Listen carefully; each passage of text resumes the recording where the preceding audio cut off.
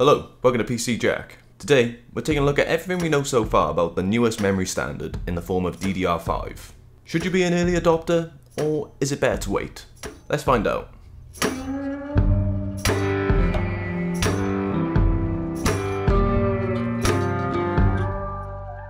So, for those of you not aware, with the upcoming launch of Intel's Alder Lake, we will soon be seeing the first DDR5 supported platform to enter the market. With kits starting at 16GB and mega transfers per second leagues above DDR4, you may be thinking this is the perfect time to upgrade. While yes, DDR5 will have some advantages over its predecessor DDR4, there is a potential that this new platform will have some growing pains. So today, what we'll do is we'll take a look at DDR5, the specs and features that we're expecting, and some of the pros and cons of adopting this new memory standard.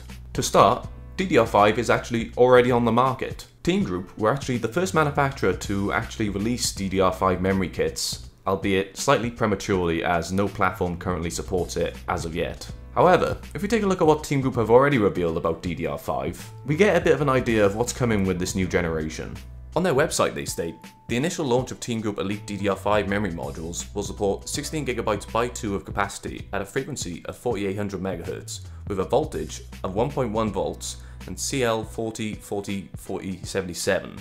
Now, one of the most disconcerting things about that statement is probably going to be those extremely high CAS latency timings. However, it's important to note that this is very typical of new memory generations. If we take a look at this explanation comparing DDR3 to DDR4, it's explained that, while DDR4 RAM is newer with better storage density and power efficiency than DDR3 RAM, it tends to have higher CAS latency. DDR3 RAM usually has a CAS latency of 9 or 10, while DDR4 will have a CAS latency of at least 15. However, because of its faster clock speeds, the newer standard has better performance overall. So while timings appear to be pretty high compared to DDR4, with the addition of much higher memory transfers per second ranging from 6400 MHz all the way up to 12600, this additional bandwidth should help negate any loss in performance due to the higher timings, and allow to double performance over a typical 3200 speed DDR4 kit. However, it does seem that this will come at a cost when it comes to power consumption. Another memory manufacturer, Corsair, have actually given some additional information on what we should expect with this new generation as well. To quote Corsair directly, they have explained DDR5 conceivably could run much hotter than DDR4, as they have moved voltage regulation off the motherboard itself, and now it is on the module. So you actually could be pumping a lot more heat.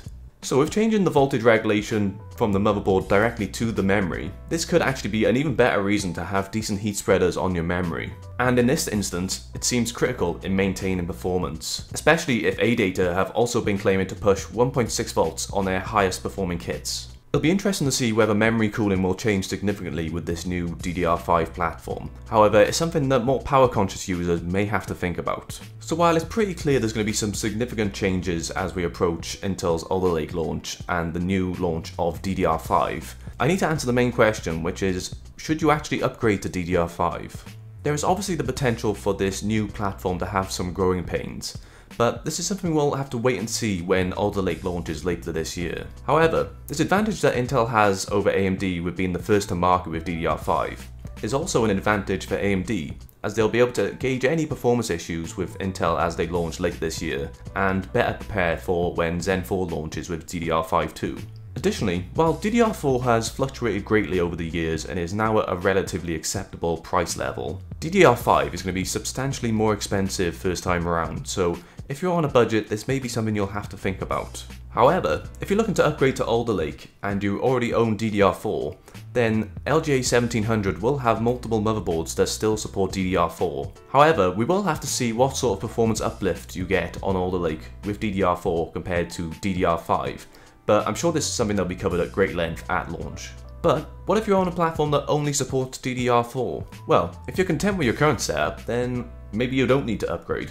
In the PC enthusiast space, it's very easy to fall into the trap of believing that you need the newest and latest hardware in order to get the performance you need, when in actual fact your current setup will probably last you much longer than you expect. Me personally, I'm using 32GB of 3200 speed memory in my main system, and along with the performance of the rest of my system, I don't really see the need to upgrade for quite some time. But if you aren't happy with your system's current performance, then of course upgrading to DDR5 is a worthwhile option. But it's important that you do your research and check for third-party benchmarks to see whether it's actually worth upgrading from DDR4 all the way to DDR5.